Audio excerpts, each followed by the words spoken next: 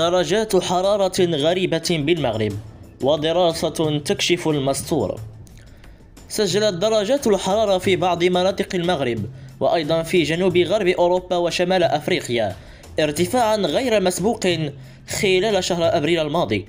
ووفقا لدراسة صادرة عن إسناد الطقس العالمي فإن هذا الارتفاع غير المعتاد يحدث عادة فقط في شهر يوليوز أو أغسطس وسجلت درجات الحرارة في عدة مدن مغربية مثل سيدي سليمان ومراكش وترودانت وورزازات أكثر من 41 درجة مئوية.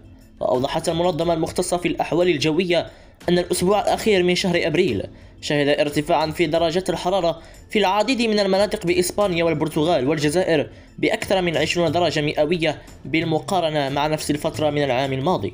وأكدت الدراسة أن تغير المناخ الناجم عن النشاط البشري يتضاعف بمعدل 100% على الأقل مقارنة بسياق مناخ ما قبل الصناعة وأن التغيرات المناخية أدت إلى الارتفاع الشديد والغير طبيعي في مواجهة الحرارة وأن هذه الحرارة الشديدة والمبكرة لم تكن ممكنة إلا بفعل تلك التغيرات.